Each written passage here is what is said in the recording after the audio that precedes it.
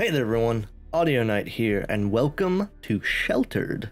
This is a game by the people who made the Worms games. It's all about a reality where nuclear deterrence has failed and your small family of four has to ride out the apocalypse. Let's get started. Slot 1, empty. Ooh, okay, that's a little loud. Customize family. In Sheltered, you look after a family of two adults and two children. Before you begin, you can customize how each individual looks, set their traits, and also their stats. Traits and stats governs. Traits and stats govern how the characters act. For example, a character with high strength is especially powerful in melee combat. Select help on the blah blah blah blah. Okay, be right back. All right, so we got Billy, Becky, Bobby, and Susanna. And our pet is a lovely cat named Mr. Meow Meow, and we are the Guzman family. This only took me about uh, 10 minutes to do. I'm terrible. Oh yeah, I want to I want to talk about each character real quick. This is my self-insert character. He's pale, he has a beard, uh, he likes burgundy. It's not my favorite color, but I like burgundy. And he's blonde for the most part. Uh, I tried to go with traits I thought would be really good for the apocalypse. So he is logical. She is athletic. Uh, logical gives you a good intelligence and charisma bonus, as well as a minor bit of perception. Athletic makes you very dexterous and somewhat strong. Our son is uh, rough and tumble, so he's got good dexterity and strength as well. He's also resourceful. I don't know how big of a factor the traits will play in, um, but Billy is proactive, Becky is courageous, Bobby is resourceful, and Susanna is proactive. Wait. Well, I need to change hers. What do we want her to be? Uh, she can be the optimist of the group, but she's also always on alert. She's got that perception for days.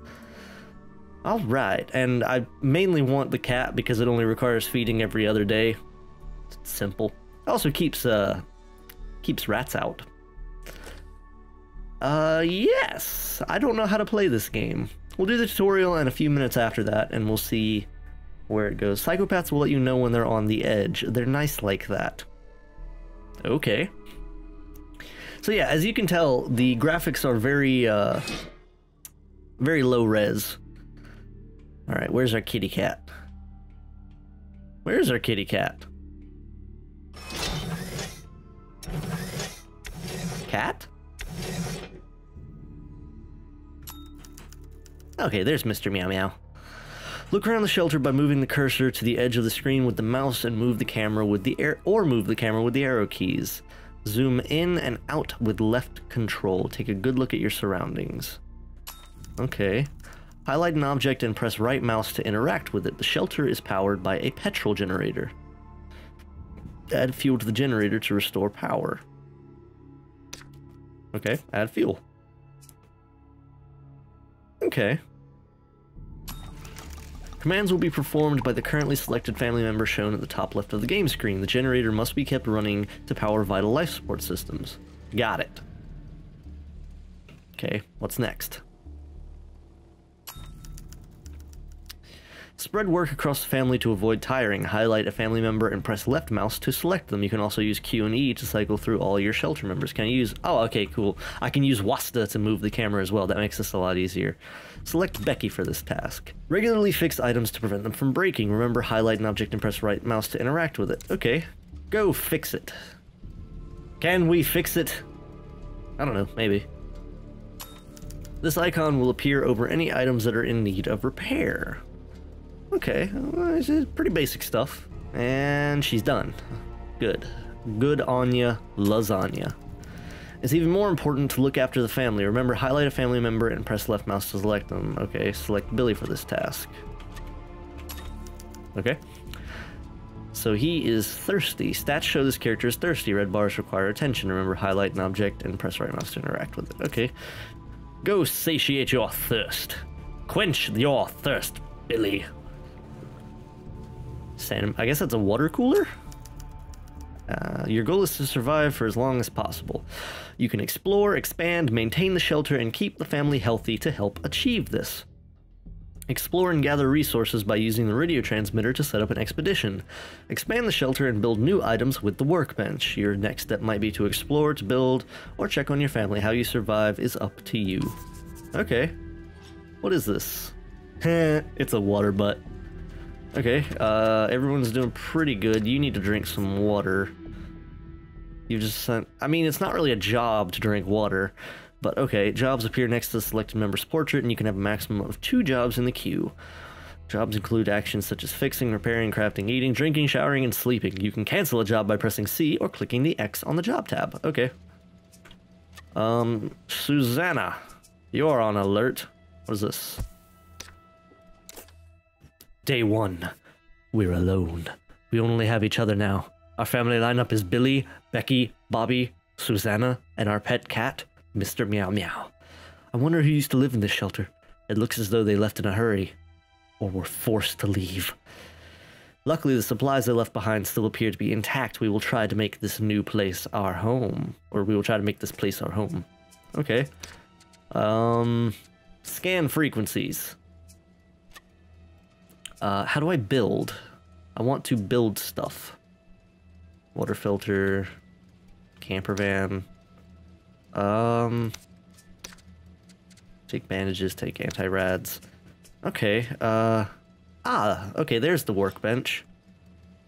We just got here, man. Calm down. What is this? Oh. Okay, that's nice. Um, what's this? Suits. Okay, yeah, I'm gonna give him a hazmat suit and send him out here to check the camper van. I've only seen a very little bit of this game being played, so I don't know what all is actually possible. Oh, okay, a sturdy set of wheels. The RV offers a huge storage capacity for wasteland expeditions and requires less water than traveling by foot. The RV uses petrol and cannot be taken on expeditions without any. Once you have found all the parts to the RV, you can choose to use it in the expedition setup screen. Okay, so he doesn't need to actually check See, I thought it when it said check vehicle, I thought it was like, oh, uh, you're gonna explore it and see what the other people left for us. Okay, um, let's see what we can craft. Building new systems and upgrading is important as they will help you run your shelter more efficiently. You can find items out in the wasteland and then use them to upgrade or create new items here. You can also expand your shelter by crafting new rooms in the workbench. Okay. Uh, first aid kit, snare trap, shelter room. I know we need we need a bed because we're starting to get a little tired. We also need a toilet. Do we have a toilet?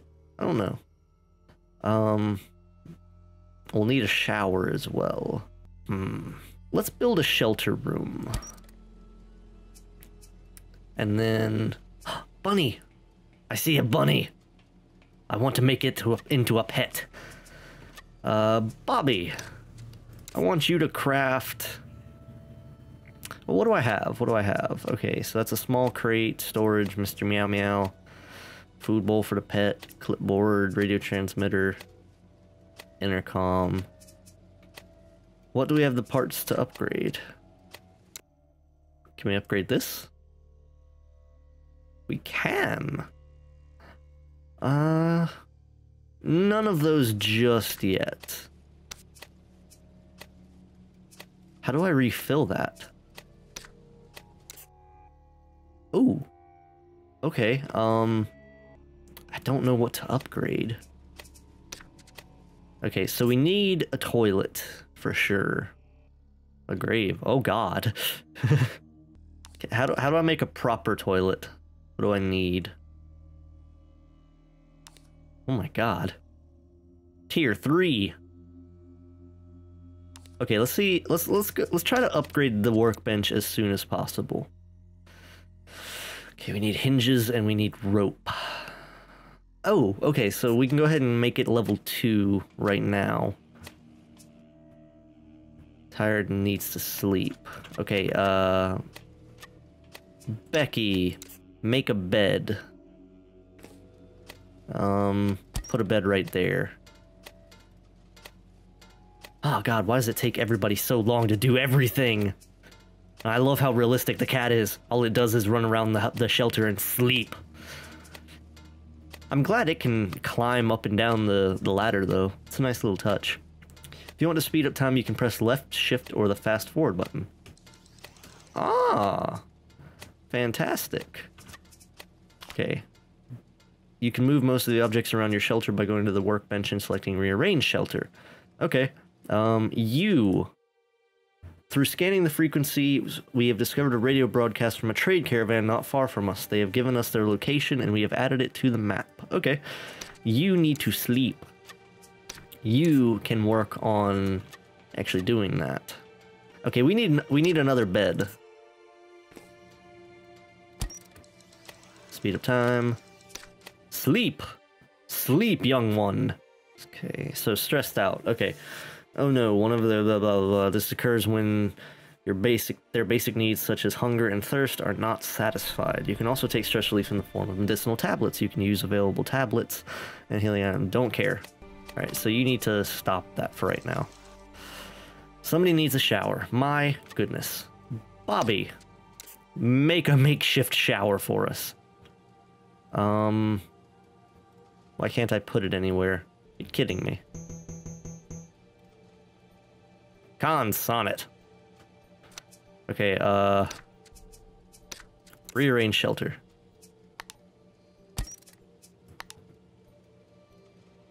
I need somewhere better to put this crap. Can I move this up here? Okay, now we can place a shower. You go back to sleep. I don't want you. Bobby's got to make the shower. He wants to get clean, he's got to earn it. Day two. Ooh, uh, can I close these? I need hinges.